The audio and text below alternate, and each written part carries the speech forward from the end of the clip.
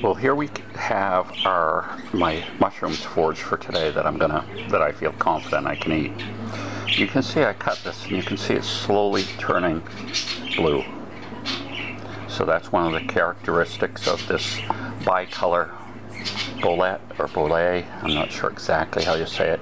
You can see where I picked this. My thumbprints have turned blue as well. This is supposed to be one of the, according to David Spahr's book, this is supposed to be one of the better tasting mushrooms. Now I've got some other mushrooms I'm not sure about. They're boletes, but look at this different stem on this. This one stained rapidly. Uh, this didn't stain it at all. So these are in the to be identified pile, but these are in the to eat pile. We've got some butter, and we'll put some salt and pepper with them. Fry them up, and we're going to try them. See what they taste like.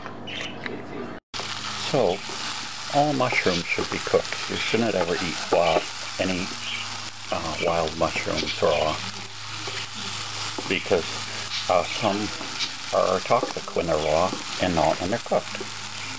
And some are just upsetting to the stomach not cooked. So it's always best to cook them.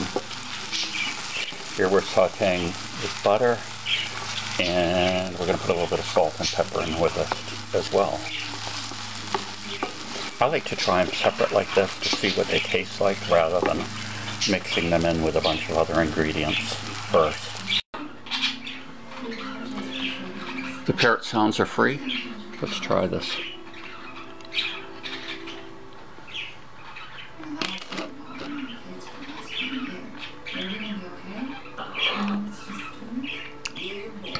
Hmm.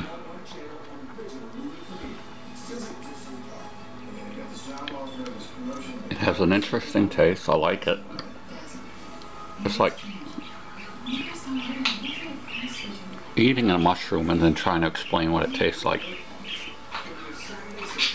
To me, it's too hard. They taste like something different.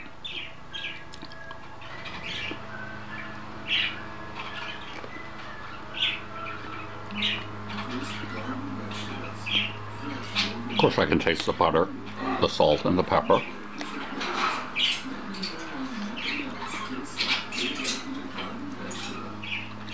I don't know how to describe the flavor. If it's like a... I would say it's a nutty flavor.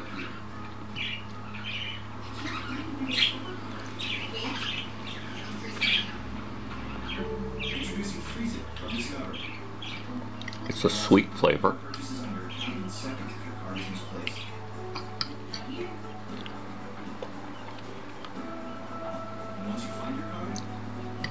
It still has texture to it. It's not all, you know, limp.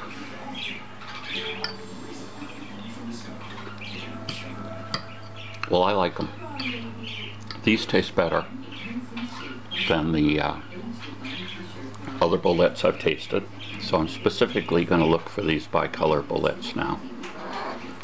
Where I was today, there were more, but they hadn't grown enough to pick. So I'm going to be back and pick some more. Very good. Bicolor boletes from today's mushroom walk in Gorham.